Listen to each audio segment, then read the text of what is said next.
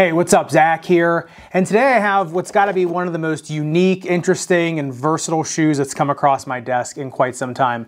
That is the Under Armour Slipspeed. And thank you to Under Armour for inviting me to be part of the launch of these and sending me them to check out prior to their launch. If you want to check these out, I will have links in the description below. But starting off with the real elephant in the room, I mean, what exactly are the Under Armour Slipspeeds? What the Slipspeeds are meant to be is number one, just kind of an everyday kicking around shoe, kind of lounging type shoe. But number two, they're meant to be able to replace your training shoe as well, so that you have kind of a more intense training shoe, but also a shoe for recovery in the same package. Now, have you've ever been in a super hurry getting your shoes on, you just kind of slip your foot into there and the heel counter crushes down? Like, say you forgot to take the trash out the night before and the garbage man's up the street and your wife's about to kill you because you've forgotten it about three weeks in a row. That hasn't happened to anybody on this channel. However, if you're getting really rushed like that and you just put your foot in, the heel counter sinks down and you get that real annoying feeling under your heel. Well, that's kind of the impetus for the design of this shoe. They're meant to be able to slip on really quick and become almost a clog or kind of like an everyday walking around, kicking around shoe.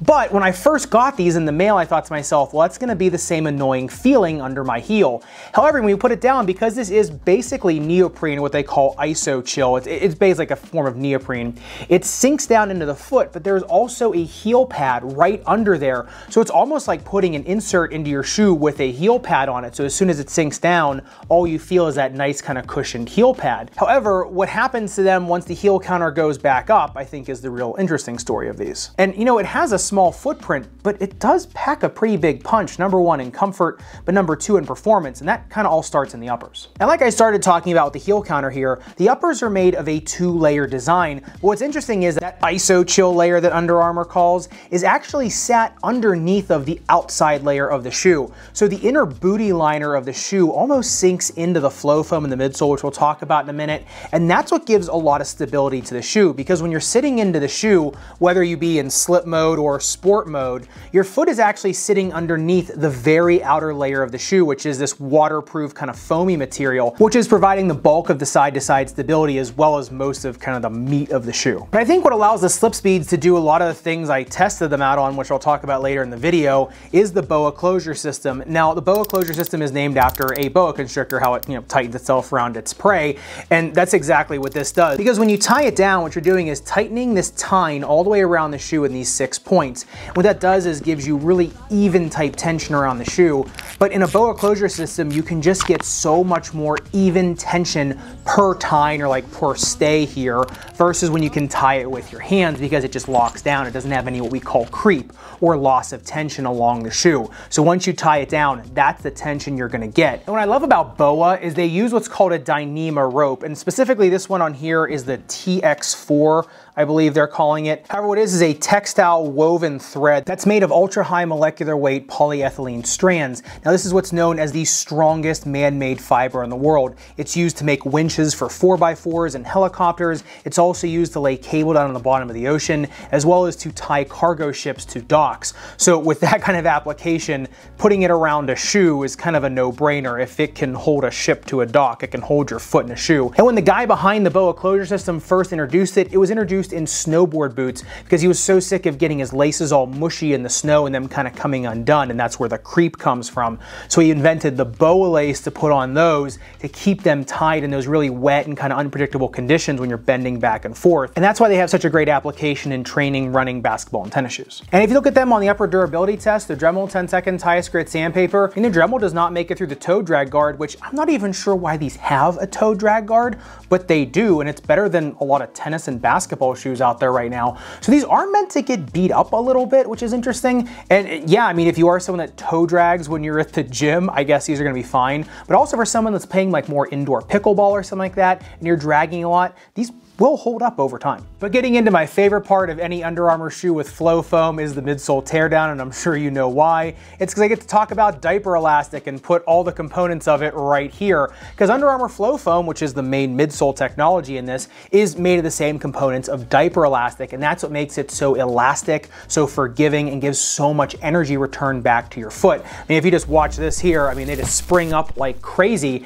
and these actually only have a pretty thin, small shank in them, more than I thought they were gonna have, so they do keep a little bit of rigidity to the shoe, but the main driver of these shoes, of course, is the flow foam on the inside. And if you just look at these on the jump height test, 39 and a half centimeters. And if you just look at the video I did before on the Curry Flow 10, which has the same stuff in them, just a longer shank, those were like at around 43 centimeters. So you can kind of see number one on the Curry Flow 10 what that shank is worth in the shoe, but also just how good flow foam gives energy return, kind of stores and releases energy all on its own. And looking at the treads, remember there is no true outsole rubber on this, it's just stamped into the flow foam. Now I did notice on the slip speeds versus on the Curry 9 and 10, they do have a little bit more abrasion resistance to them. I, I did notice that on outdoor courts, these didn't have kind of the feeling of the 4 Flowtro, the 9 or the 10. They were just a little bit more kind of rugged. I think there's a little more of an additive on here. I mean, if you look at the outsole durability test, the Dremel 10 second Tie-S Grit sandpaper, I mean, the Dremel only bites about a millimeter, a little bit over a millimeter on that, which is kind of the same as kind of a standard rubber type shoe. However, the durometer is pretty similar to that of their basketball line. So my guess is they just put a little bit more of the abrasion resistance additive into these because they knew that these were going to be used on a more variety of surfaces versus on the Curry line, which is usually just used on hardwood. What I thought was so impressive on these, you look at the shuttle test, I came in at 14.95 seconds, so sub 15 seconds on a shoe that has this low of a profile. And that's because number one, the outsole is more shaped like a hot dog, so it actually is pretty laterally stable. Number two, the BOA closure system plus the dual layer uppers does actually keep you pretty solid side to side. And number three, in the rear foot, the flow foam is just a little bit wider on there, plus that abrasion resistance. They have a little bit more of a grip on an outdoor court versus some other flow foam shoes. So even if you are kind of doing a little bit more heavy side to side type activity, these still do hold up and surprisingly just a lot better than I thought they would. And getting into the fit of the slip speeds, I think if you're a medium or wide foot, you can just go true to size. I went true and I was fine. However, if you are a narrow foot, I probably would go down a half size. And if you're a medium foot and want like a really one-to-one -one fit needs like a really glove-like fit, then I'd probably go down a half size And just because the shoe gets all of its stability from having more of a glove-like fit on you once the heel counter is up.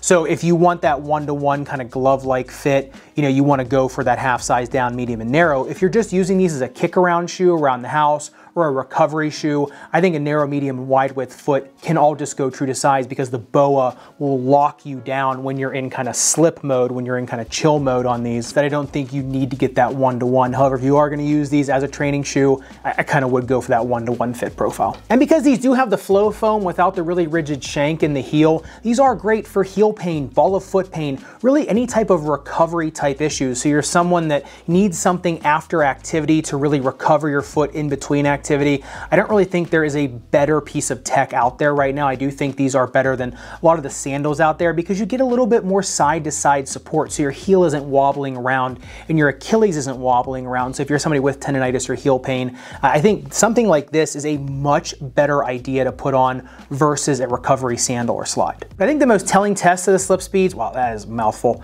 was on my treadmill when I did 30 minutes of 8.5% incline at 3 miles per hour, as well as 15 minutes in my normal mile pace on the slip speeds versus in my traditional kind of treadmill shoes I have over there and I really had no increase in heart rate on both of those shoes. It was pretty much right down the middle on both, which means my body wasn't working any harder in these versus on my standard treadmill running shoes. If you are looking for something kind of in between a true minimalist shoe and more of a maximalist type made for running shoe, something that's gonna allow your feet to splay a little bit, you can really get a dialed in fit with these. So if you are someone kind of looking for that type of profile too, I think you're just fine with these even on the road or something on a treadmill. Now remember, it is flow foam, so it is gonna last longer on a treadmill or gym type scenario versus out on the road. However, I did have these out on the sidewalks a few times running, and I haven't really had that much significant wear on them. I think it's more the side to side stuff where you start to increase friction that you'll start to wear down the flow foam on. Not so much the standard midfoot or forefoot striking type running or walking. But the most surprising part of the slip speeds, which I guess translates into the Curry line, I'm not sure how the uppers would do, but these are completely machine washable. They're, you know, laundry safe. They actually come in their own laundry bag. So Under Armour says you can do up to 200 wash cycles before you start doing anything to the structural integrity of the shoe, which is pretty good. So if you are someone using these for pretty heavy activity or just kind of all day, you're using these as a kick around shoe or a work shoe, then you're using them at the gym as well, and they do start to get a little bit sweaty. Um, you can just wash these and just let them air dry and they'll be just fine afterwards. And I think with how comfortable these are in so many scenarios, you know, I found it so easy just to wear these all around the house and I was doing chores, cleaning up, cooking dinner, whatever. You know, I found for heel pain, Achilles pain on these much better than a memory foam slipper or a sandal because like I said, your heel doesn't move around in them. And so I think with that kind of profile, I think these are kind of the ultimate traveling shoe. If you're someone running through the airport, then have to slip these off at security, or then kind of get on the airplane and want a comfortable shoe for a long flight, and just want to bring a shoe for number one, travel, but number two, you don't want to pack another pair of shoes to go to the gym and work out in. So if you are someone that travels a lot, likes to work out when you're traveling, doesn't want to bulk up your suitcase, this is also a really good pickup. But of course, love to know your thoughts. Are you looking for something like this, kind of like an all-around kick around plus sport type shoe? Let me know in the comments down below. Or are you someone that likes to have a single pair of shoes for everything you do? Like I said, let me know down below. And if you want to see the older sibling to the slip speeds, the Under Armour Curry Flow 10 go under the knife, make sure you click into this video up above and subscribe down below. Respect your rubber and foam and reptilian type shoelace closure systems. I'll see you in the next one.